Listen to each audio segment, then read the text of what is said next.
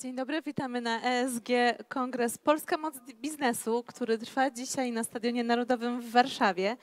Y, rozmawiamy o wszystkich aspektach i kryteriach ESG, zarówno tych środowiskowych, społecznych, jak i związanych z ładem korporacyjnym, ale na tej sali, y, sali poświęconej właśnie kwestiom społecznym, koncentrujemy się y, na tym, na, również na obszarze zdrowia. Zdrowie i medycyna to w ostatnich latach również fake newsy i nieprawdziwe informacje, które są rozprzestrzeniane przez wszelkiego rodzaju kanały.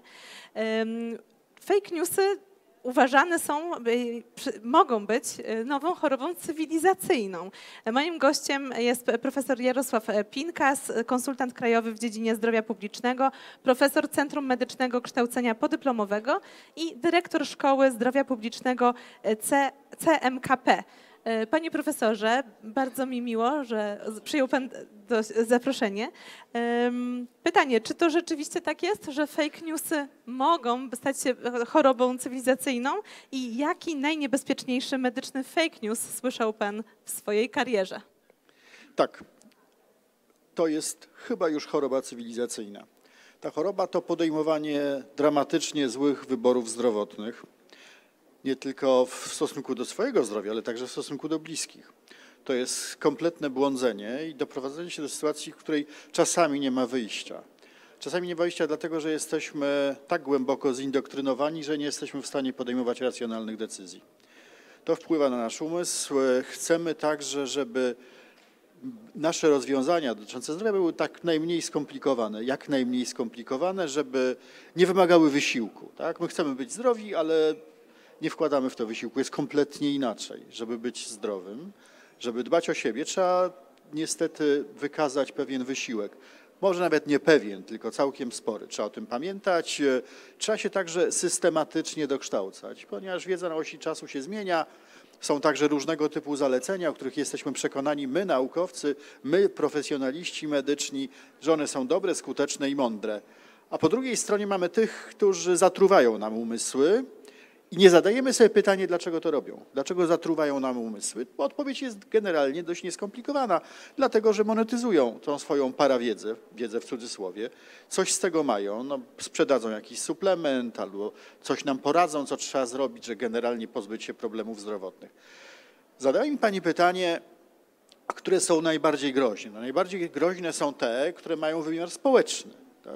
Wymiar społeczny to przede wszystkim szczepienia ochronne. Szczepimy się nie tylko dla siebie, szczepimy się także dla innych. W związku z tym, no, jeżeli na przykład e, denialiści szczepionkowi doprowadzą do sytuacji, w której nie będziemy mieli odpowiedniego progu wyszczepialności populacyjnej, to wrócą dramatyczne choroby. No, wróci do nas polio, będą powikłania odry, no, cała masa zdarzeń, e, która ma taki wymiar już prawdziwie społeczny. Ona może mieć taki wymiar, jeżeli nie będziemy racjonalnie wybierać. Jeżeli ten internet, który jest fascynującym miejscem do zdobywania informacji, ale dla ludzi rozsądnych, takich, którzy potrafią korzystać z niego w sposób racjonalny, to znaczy potrafią sprawdzać, analizować, czy rzeczywiście jest tak, jest, gdzie ktoś napisał, coś napisał, prawda? Czy to są odpowiednie strony, czy też czasem nie ma gdzieś tam napisanego, że jest to e, reklama, prawda? I, i zwyczajnie widać, że jest to spozycjonowane. Więc... Czyli Czyli krytyczne myślenie. E, Zdecydowanie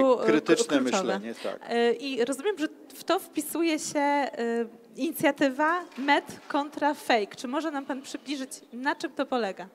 Tak, Med.fake to jest inicjatywa, która pokazuje medycynę opartą na wiarygodnych danych versus szamaństwo, szarlatanerię, przy czym nie, ja nie uznaję e, czegoś, co jest jakąś absurdalną zbitką słowną. De facto jest to oksymoron.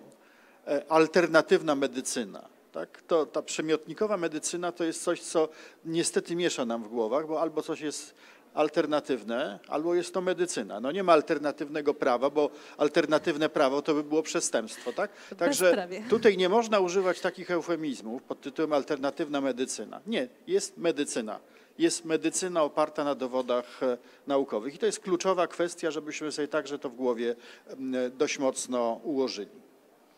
No dobrze, wspomniał Pan o szczepieniach. Dlaczego ważne jest, żeby edukować na temat szczepień w różnych grupach społecznych? No oczywiście szczepienia dotyczą różnych grup społecznych, ale dla nas najbardziej istotne jest to, żeby przede wszystkim dobrze wyeduko- wyedukować rodziców, ponieważ oni w dużej mierze są odpowiedzialni za e, szczepienia swoich dzieci. My mamy e, obowiązkowe szczepienia, przy czym słowo obowiązek tutaj jest e, czymś niezwykle szlachetnym. Tutaj trzeba nadać taką odpowiednią semantykę słowa obowiązek.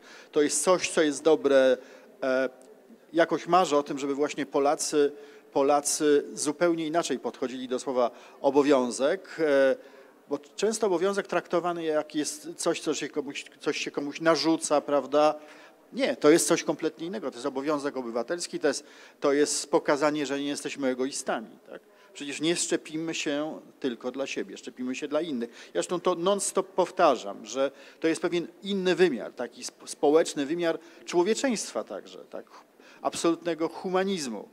No i wtedy trzeba oczywiście dobrze wybierać, żeby, żeby nie błądzić. Będę o tym non-stop przypominał, żebyśmy nie błądzili. E, Rozumiem, ale wiele osób przecież boi się szczepień. Jest cały ruch Stop NOP, który boi się niepożądanych odczynów poszczepiennych.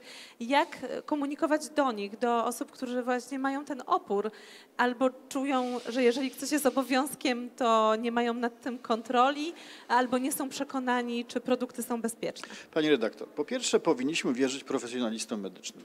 To, że wprowadza się szczepionkę na, na rynek, to jest e, niezwykle długi okres i to jest wynik pracy zespołów e, profesjonalistów medycznych, naukowców, biologów, lekarzy, wszystkich tych, którzy chcą jakiś problem rozwiązać, bo przecież szczepionki rozwiązują wiele problemów.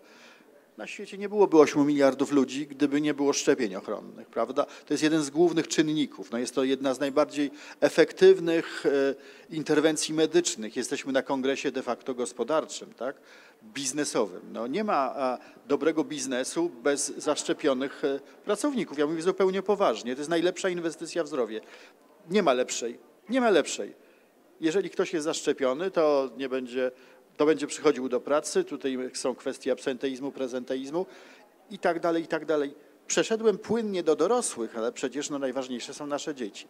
Dla nas wszystkich, tak? I teraz tak, zaczynamy y, wątpić, że szczepienia są niebezpieczne, bo gdzieś coś usłyszałem, ale przecież Mamy rejestrację NOP-ów i to nawet podwójną. No, gdyby się wydarzyła jakaś sytuacja dramatyczna, to jest oczywiście możliwość ściągnięcia danej serii z rynku, kompletnie e, nowe podejście, nowa analiza.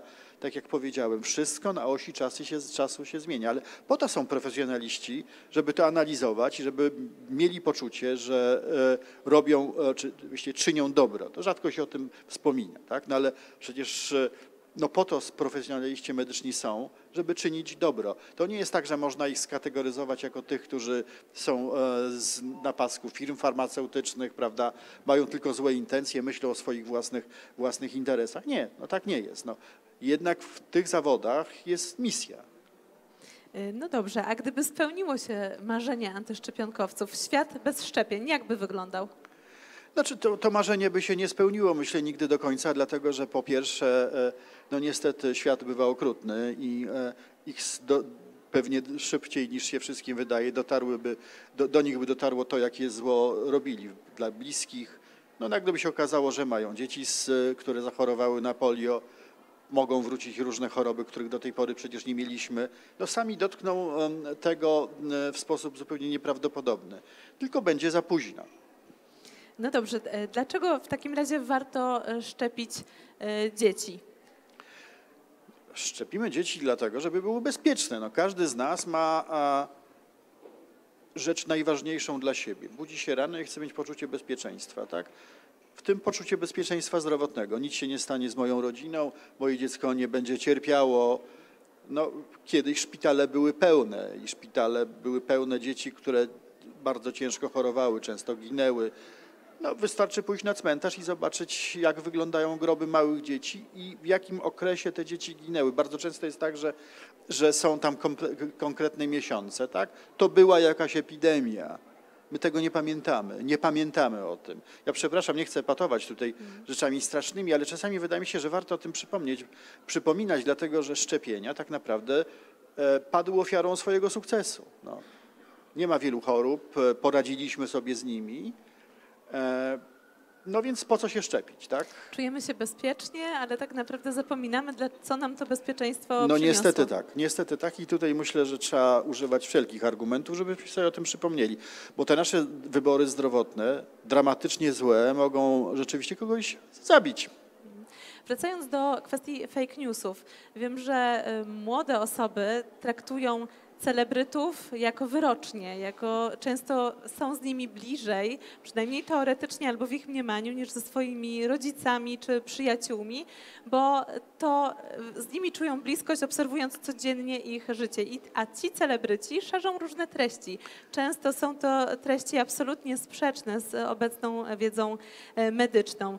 Y, Czy w ramach inicjatywy mm, Med kontra Fake mm, planują Państwo jakieś działania skierowane właśnie do tych najmłodszych, którzy szukają tej wiedzy przez różne kanały, często na Instagramie, na TikToku, żeby dotrzeć do tej młodzieży tam, gdzie ona funkcjonuje na co dzień i gdzie szuka porad i gdzie szuka wsparcia? To jest niezwykle skomplikowany proces, dlatego że młodzież różnie wybiera. No, ostatnio, chyba w ostatnim miesiącu, dwie duże afery, prawda, nawet bardzo duże, tak zwanych patocelebrytów, tak? No my przecież nie będziemy z nimi polemizować, tak?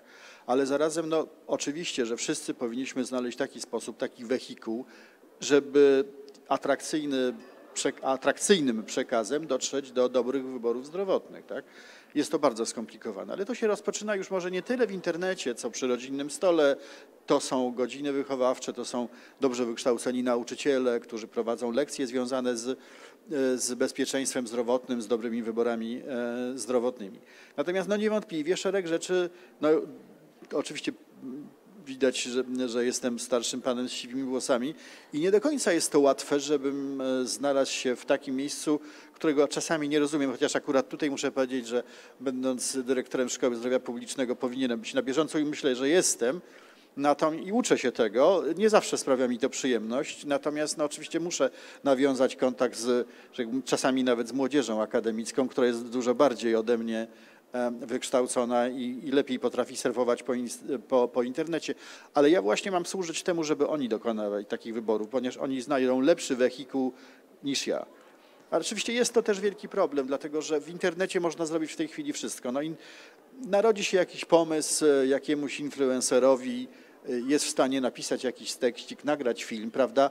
Kompletnie nie analizując, jakie mogą być implikacje tego. Tak, i to się dzie- dzieje w przeciągu kilku minut. Kilku minut, nie ma, nie A ma tutaj. odpowiedź zabiera czas, fundusze. A jeszcze to jest tak, że ta informacja w internecie jest bardziej zakaźna od najbardziej zakaźnego wirusa. Ona się szybciej rozprzestrzenia.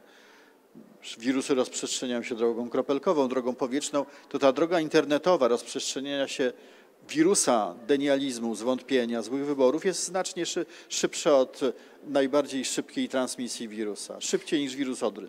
No dobrze, niech nasze krytyczne myślenie będzie naszą szczepionką e, na informacje rozprzestrzeniane w sieci. Bądźmy ostrożni, a w życiu fizycznie warto się szczepić, bo Bo szczepienia są najważniejsze, bo zdrowie publiczne jest najważniejsze, bo to daje nam poczucia bezpieczeństwa zdrowotnego. Nie powiem jednym zdaniem, mogę o tym mówić dwie godziny. ale na pewno daje nam to podstawy do rozwoju w różnych obszarach i również w biznesowych, ponieważ spotykamy się No na oczywiście, oczywiście. No, dzięki temu coś w życiu osiągamy, bo nie jesteśmy chorzy. Dziękuję bardzo, że Dziękuję podzielił bardzo. się Pan tym z nami i dziękuję, Dziękuję. Państwu.